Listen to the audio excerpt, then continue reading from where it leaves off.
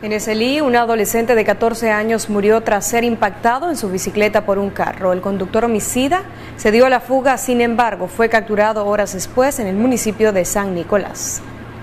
El adolescente Gizar Albir Valdivia, de 14 años de edad, murió tras ser impactado junto a la bicicleta en la que viajaba y lanzado varios metros de distancia por un vehículo color plateado con placa de Managua, cuyo conductor huyó del lugar pero fue detenido más tarde. Conductores que no miden las consecuencias que pueden tener esto, estas cosas. Otra familia doliente, realmente se necesita concientizar más a los conductores que por favor lo que es el casco urbano midan la velocidad que no se puede andar a más de 40, lo máximo, más en, más en un sector donde la población es grande, más donde hay muchos niños que salen a ser mandados a cada momento en bicicleta, están cruzando. El trágico hecho ocurrió sobre la carretera panamericana en la parte sur de la ciudad de Estelí.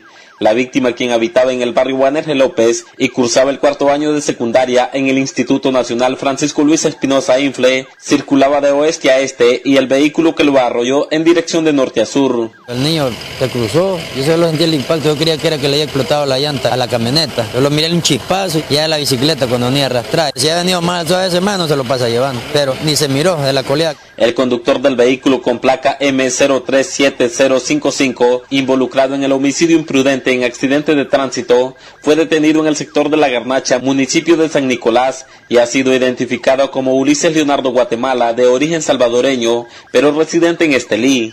Juan Francisco Dávila, Acción 10.